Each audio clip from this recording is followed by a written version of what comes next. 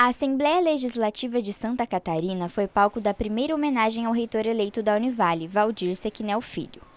No plenário, Valdir Sequinel falou da trajetória profissional e principalmente da importância da Univale frente ao ensino superior do país. Alguns deputados ressaltaram também a importância da instituição para o Estado. Com 53 anos de história, né, contribuindo para a melhoria da qualidade de vida da nossa população e hoje aqui, de forma muito particular, né, ouvir esses deputados me encheu o meu coração de alegria. A moção de aplausos foi proposta pelo deputado Maurício Scudilarque, egresso da Univale. A carreira profissional do reitor eleito na colaboração com a pesquisa foi um dos motivos da homenagem no parlamento catarinense. Recebeu agora uma homenagem e, ao mesmo tempo, por professores, alunos e toda a equipe administrativa da Univale, uma missão muito importante, que é conduzir essa grande instituição.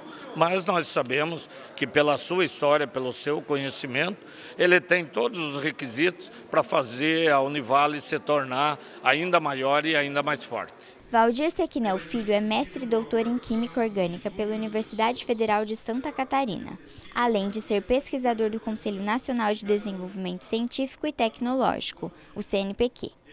Está na Univale há 23 anos.